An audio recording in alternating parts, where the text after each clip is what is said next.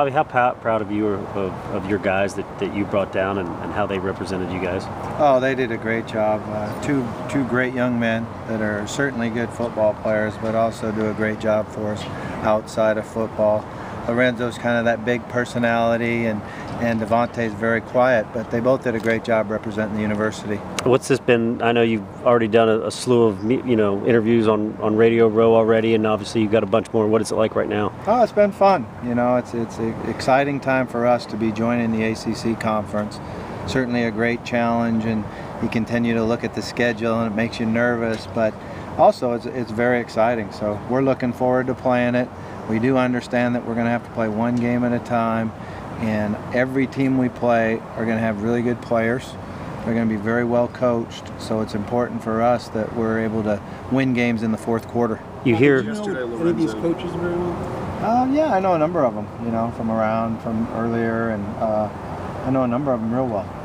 Coach, yesterday Lorenzo said it's nice to be in this league because now no one can say Louisville didn't play anybody. Uh, you were just picked to finish third in the division behind Florida State and Clemson.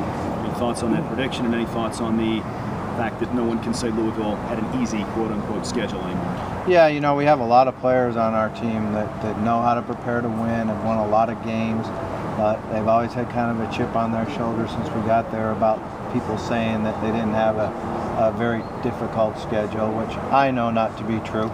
You know, um, but it is a great challenge for us, and we're certainly going to look forward to it. We have higher expectations than we were ranked, um, so obviously we've got a lot to prove.